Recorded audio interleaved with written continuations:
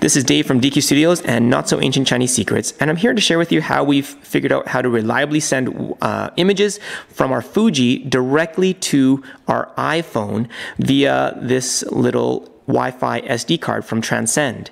We've also tried the Mobi from Eye-Fi, which automatically downloads the images to your iPhone, all images to your iPhone.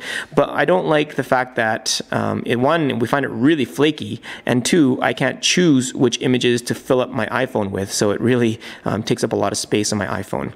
So the Transcend we found to be more reliable, but it has its own quirks, as we'll get to. But we found some workarounds that help us preserve the battery life and um, lets us get our images images onto our iPhone reliably too. So let's get started.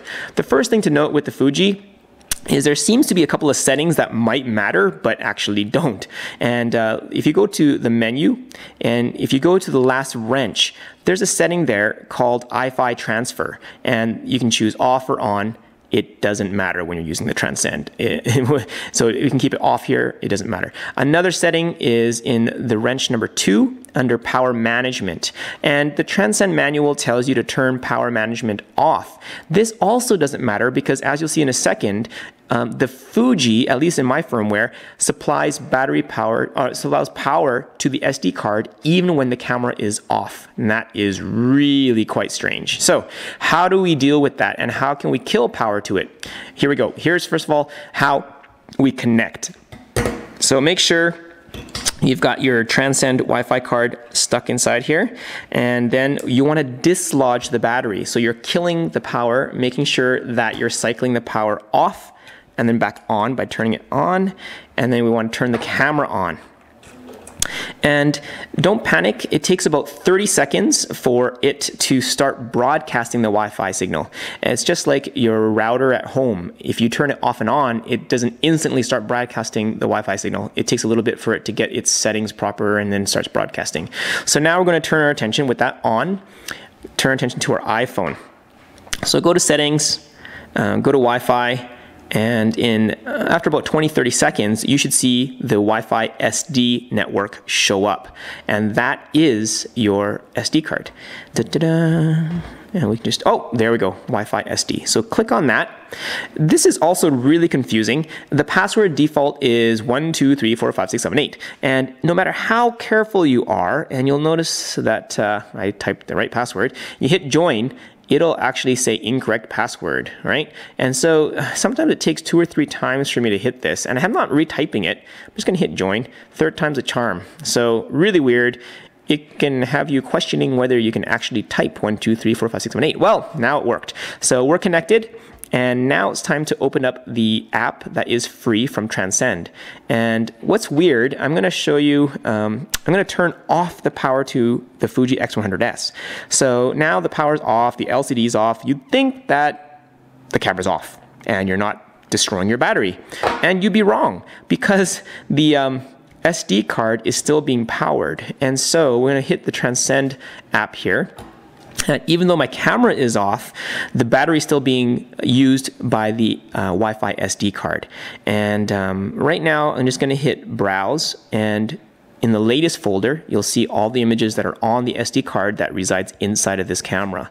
Very cool. Now, if I want to take a look at one of the thumbnails bigger, just click on the image and it doesn't download the image to your camera yet, it just previews it for you. So if you like that picture, then you can click on this icon on the lower left and hit download to camera roll. And now it downloads the image for you. So that's really nice. You can, can actually preview the image before I choose which one to download. Then I can share that on Instagram or Facebook or whatever you want to do, email it to friends and family. So that's really nice for the browsing feature. Now, what I want to recommend is changing the settings, and this is the only way where you will not destroy your battery life. So how do you do that? Hit settings, go into the um, login here and the defaults are admin, admin, press done. Now what we want to do is go to Wi-Fi options and in here the default is direct share which is what we're doing. We're sharing the images from here to our iPhone directly instead of going through a computer and what we want to do is the default for the power saving mode is never and that is bad. That means your battery will always be used to supply power to your Transcend SD card. I choose one minute. So after one minute, it'll turn off the Wi-Fi signal from the SD card. It'll still be able to be used as a regular SD card to take pictures, but it won't broadcast the Wi-Fi signal, which is really important to save your battery life. So right away, I'm doing that, press apply. And you notice that it says the change will take effect on your next off on cycle. And they're not talking about the off on cycle of your app. They're not talking about the on off cycle of the camera. They're talking about the on off cycle of your SD card. So, how do you turn off the power if turning off the camera doesn't do it for you? Well, the first thing you want to do is make sure that the next time you turn it on, it doesn't automatically connect. All right. So, or else it'll just keep on um, being on. um, so, we're going to click on the settings again the right arrow and press forget this network and then forget, all right? Now, after this, we wanna kill the power to the card so we open up the battery compartment and dislodge the battery. And once this is outside of the body, then we can plug it back in. This time we're gonna turn it on and in 30 seconds you should see that uh, Wi-Fi signal come up again. Um, I'm gonna turn off the Wi-Fi, turn it back on, and it's going to be the longest, like, you know, 30 seconds. Um, um, oh, oh, my video machine might just die and not have any more batteries for me here. But in the meantime, I shall entertain you with some of my some Lego pieces. Yes, yes, Ninjago rules. And I have no idea why this guy's got horns. But yeah, oh, oh. Look, there's the Wi-Fi SD. Now, because we changed the setting there so that it will turn off in one minute, in another minute, that should disappear. And when that happens, that means the battery is no longer powering the SD card, which means you're not sucking the life out of your Fuji. So it's a little bit roundabout to have to, you know, forget the network and then dislodge the battery and then make sure you're not automatically connecting next time.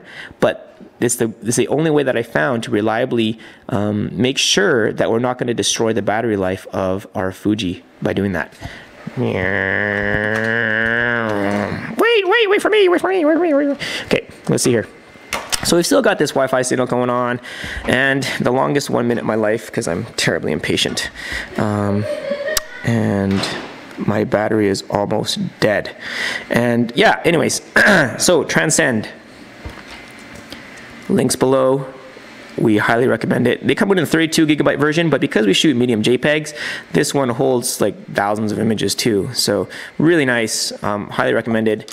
That Wi-Fi signal, come on, you should be disappeared by now. Go, go, go, gadget car. Um, so